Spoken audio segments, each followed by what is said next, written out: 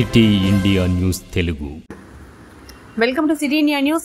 Mahabubnagar జిల్లా కేంద్రంలోని Bhagiratha colony పసుల కృష్ణారెడ్డి గార్డెన్స్లో ఏర్పాటు చేసిన రెడ్డి సంఘం ఆత్మీయ సమ్మేళనానికి సతీ సమేతంగా విచ్చేసిన మంత్రి డాక్టర్ వి శ్రీనివాస్ గౌడ్కు భగీరథ కాలనీ నుంచి ఎడ్ల బండి మీద ఎక్కించి రెడ్డి సంఘం నాయకులు ఘనస్వాగతం పలికారు. అనంతరం నవధాన్యాలతో మంత్రికి తులాభారం చేశారు.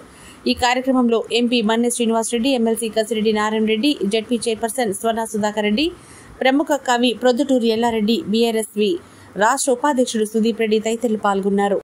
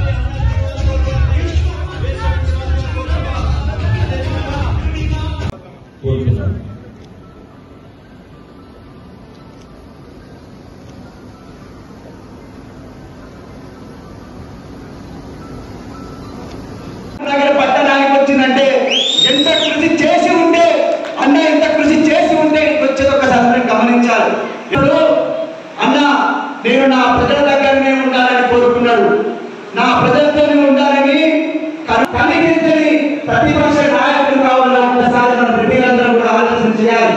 రెడ్డిల విషయము ప్రతి ఒక్క రెడ్డి సోదరికి తెలుసు.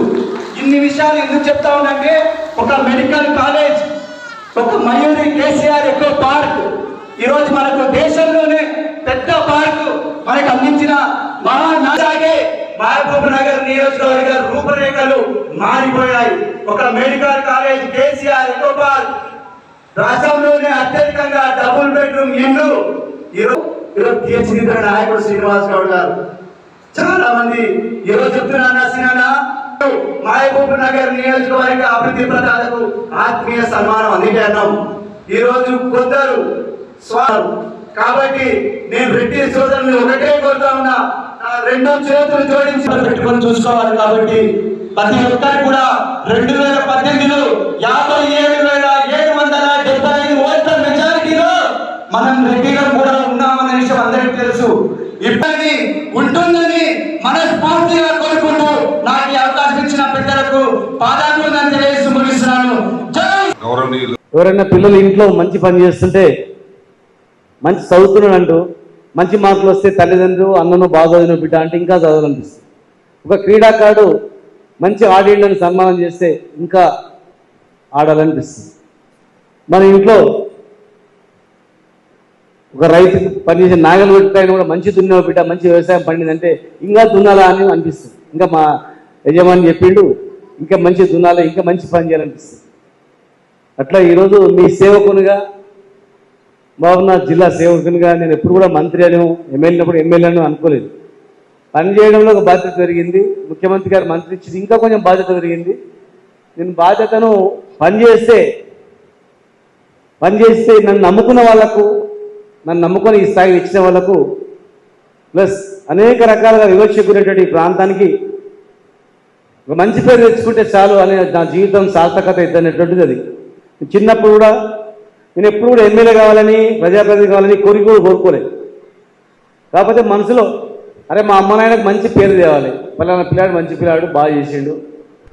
మంచి పిల్లాడు అని పేరు తెచ్చుకోవాలి. చెడ్డతో పేరు ఎప్పుడు తేవద్దు. కష్టపడి పని చేయాలనేది నాకు చిన్నప్పటి నుంచే మా అమ్మ నేర్పింది. ఆ క్రమంలో నేను మామూలు ఉద్యోగంతో స్టార్ట్ అయ్యి చిన్న వయసు నుండి ముప్పై మూడు నాలుగు సంవత్సరాలని గ్రూప్ వన్ స్థాయికి ఎగ్జామ్స్ రాసి పాస్ అయ్యి రకరకాలు వెళ్ళినప్పుడు జాబ్ చేసి మంచి పేరు తెచ్చుకోవాలని జాబ్ చేస్తుంది. కానీ అక్కడ ఉద్యోగులు జరుగుతున్నట్టు వివక్షను చూసి నేను తొంభై ఆరు హైదరాబాద్ నుంచి మౌనా నుంచి మా హైదరాబాద్ పోయిన తర్వాత తొంభై ఐదులో తొంభై ఆరులో నేను స్టార్ట్ చేసిన. ఉద్యోగుల సమస్యలు చాలా ఉన్నాయి ఇక్కడ వివక్ష చాలా ఉన్నది. చాలా ఎక్కడ పోయినా కూడా పెద్ద పెద్ద బిల్డింగ్ల దగ్గర గుడిసెలు వేసుకొని మామూనారు వాళ్ళు ఉంటున్నారు. ఏ ఊరు నుంచి వచ్చినామంటే ఖచ్చితంగా మామూనారే అది. పెద్ద బిల్డింగ్ ఉన్నది కింద మామూనారే ఇంత పెద్ద మామూనారు ఇట్లా అయిపోయింది కదా అని చెప్పి బాధపడుతూ ఉద్యోగంలో తిరుగుతున్నప్పుడు తొంభై ఏళ్ళలోనే స్టార్ట్ చేసిన. కేసీఆర్ గారు ఎప్పుడైతే తెలంగాణ జెండా ఎత్తుకున్నాడో ఇంకా కేసీఆర్ గారు ఏమంటే నడుస్తుంది first PG Anandreddy Reddy ninety six ninety seven two thousand వరకు. నేను చిన్న వయసులో కూడా పీజీ ఆనందరెడ్డి రెడ్డి మా ఇంటికి వచ్చి నన్ను దొరుకుని పోయింది ఎక్కించుకొని పోయింది.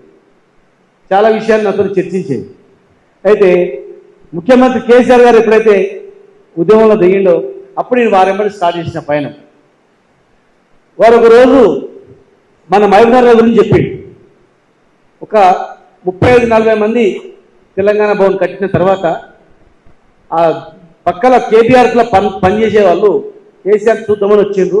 సార్ మిమ్మల్ని చూద్దామని మహబూబ్నగర్ వచ్చింది సార్ అంటే పిలవండి అన్నాడు. పిలిస్తే దానిలో ముప్పై నలభై మంది ఉన్నారు. ఏం చేస్తున్నారు ఇక్కడ అంటే ఏం సార్ కరువు వచ్చింది? నీళ్ళు లేవు ఊర్లలో వ్యవసాయం చేసి పని చేసుకుంటున్నాం సార్. ఇక్కడ వచ్చినాం బతకనికి వచ్చినాం సార్ అని చెప్పింది అందులో ఒక ఆయన కొంచెం మంచిగా అడ్డపంచ గిట్ట మంచిగా కట్టుకున్నాను అదే ఈయన ఈయన ఎవరు? సార్ ఆయన దగ్గర మేము ఊర్లో పని చేస్తున్నాము ఆయనకు ఊర్లో అరవై ఐదు ఎకరాలు ఉంది. ఆయన దగ్గరనే కూలి పని చేస్తుంటున్నాం సార్. కరువు వచ్చింది ఆయన మా పట్టణం కూడా దొరుకుని వచ్చారు సార్. మా మీద లెక్క రాయడానికి ఉన్నాడు ఆయన.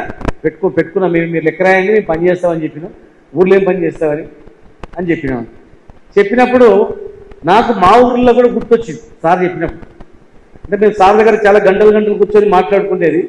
ఉద్యమ రచనలు ఎట్లా ఏమేమి చేయాలని వ్యూహం చేసి సార్ చెప్పేది రేపు ఎట్లా చేద్దాం ఎల్లుండి చెప్పేద్దామని ఆ మాట చెప్పినప్పుడు మా ఊర్లో కృష్ణారెడ్డి అని పెద్ద రైతు ప్లస్ తిరుమలనాథ స్వామి అని పెద్ద రైతు. ఇద్దరికి వంద వంద ఎకరాలు ఉంటాయి దగ్గర దగ్గర. ఊరంతా ఎంత పొలం ఉంటుందో వాళ్ళకి ఇద్దరికి అంత పొలం ఉంటుంది. వాళ్ళ దగ్గర అందరు బతికిటోళ్ళు. ఆయన